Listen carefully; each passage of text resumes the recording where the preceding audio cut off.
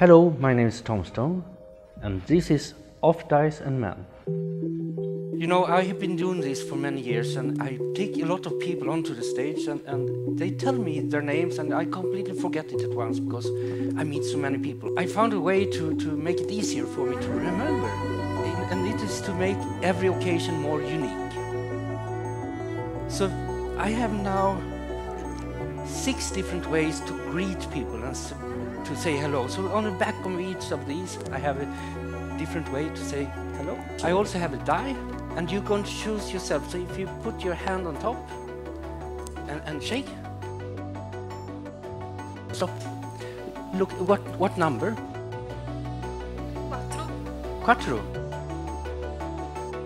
Four.